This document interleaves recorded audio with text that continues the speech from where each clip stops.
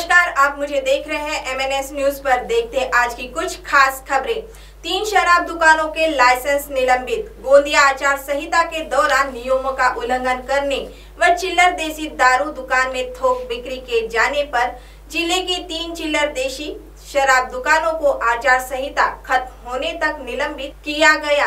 जब तक आचार संहिता रहेगी, तब तक शराब दुकानें बंद रखी जाएँगी। बिक्री पर बैन। उल्लेखनीय है कि राज्य विधानसभा चुनाव की आचार संहिता लागू होते ही राज्य उत्पादन शुल्क विभाग द्वारा ज़िले की सभी शराब दुकानों पर कड़ी नज़र रखी जा रही है। इस दौरान ज़िले की तीन चिल्लर देशी दुकानों द्वारा नियमों का उल्लंघन कर थोक में बिक्री की जा रही थी, जिसमें पड़ोसी ज़िले गढ़चिरौली व चंद्रपुर में शराबबंदी होने के चलते इन दुकानदारों द्वारा तस्करों को बड़े पैमाने पर अवैध रूप से देशी शराब की थोक बिक्री के जाने का मामला सामने आया है।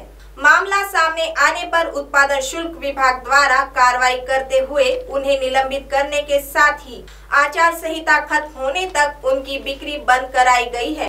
विशेष यह है कि उक्त तीनों दुकानें गढ़चिरौली ज़िले से सटे अर्जुनी मोरगांव तहसील की है। तिरोड़ा में बिक रही महुआ शराब। Tiroda Khairlanji road, Mahatma Phule ward C J Patel college, doctor Ambedkar Nagar Parishad school, परिसर में महुआ शराब की दुकान। राहुल टेम्भेकर साधना खोबरागड़े, विनोद सांगोड़े व राकेश चौधरी के नाम से बिना लाइसेंस के चलाई जा रही है।